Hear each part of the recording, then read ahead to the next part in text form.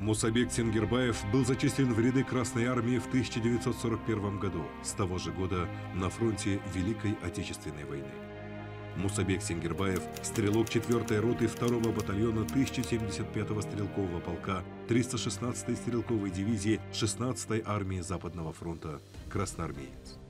16 ноября 1941 года у разъезда Дубосекова Волоколамского района Московской области Мусабек Сингербаев в составе группы истребителей танков участвовал в отражении многочисленных атак противника.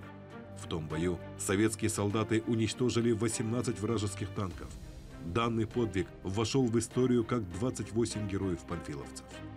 В этом бою славный сын казахского народа Мусабек Сингербаев пал смертью храбрых.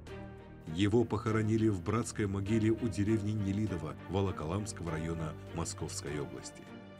21 июля 1942 года указом Президиума Верховного Совета СССР за образцовое выполнение боевых заданий командования на фронте борьбы с немецко-фашистскими захватчиками и проявленные при этом мужество и героизм Мусабеку Сингербаеву посмертно было присвоено звание Героя Советского Союза с вручением Ордена Ленина и медали «Золотая звезда».